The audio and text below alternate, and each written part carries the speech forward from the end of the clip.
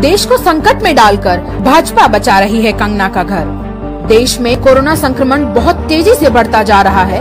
Bharat corona संक्रमण मामले में दुनिया भर में दूसरे नंबर पर है। क्या कोरोना से लड़ने के लिए प्लान बदलना होगा? क्या कोरोना को रोकने के लिए नई स्ट्रैटेजी लानी होगी? क्या कोरोना वैक्सीन में देरी खतरनाक हो रही है?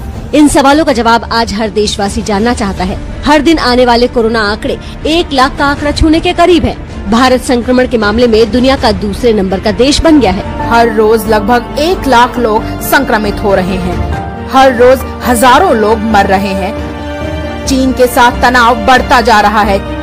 चीनी सेना भारतीय सीमा के अंदर घुस आई है।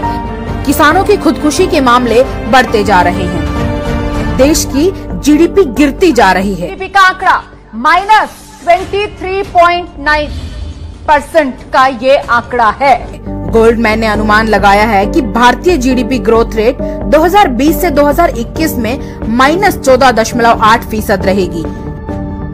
रेटिंग एजेंसी फिच ने अनुमान लगाया है कि इस वित्तीय वर्ष, यानी 2020 से 2021 में, भारतीय अर्थव्यवस्था में 10.5 फ़ीसदी की भारी गिरावट आ सकती है। यानी जीडीपी ग्रोथ माइनस दस दशमलव पाँच फ़ीसदी रहेगी।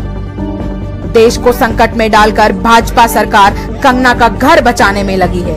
यही भाजपा का देश प्रेम है। मिस्टर तिवारी मिस्टर तिवारी, ये ये ये संजय राउत की तरह बिहेव करना बंद करिए बिल्कुल। बिल्कुल